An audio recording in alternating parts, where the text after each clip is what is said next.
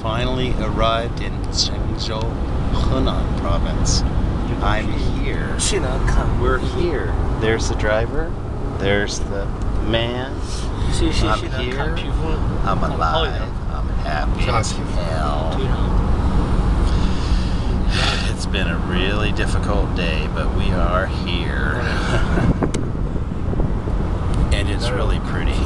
It's really, really, really, really, really because it's cool. It's cool, baby. Look, look at that, look how green it is. Really, really, really green. Really green. Uh huh. And that's a take. That's a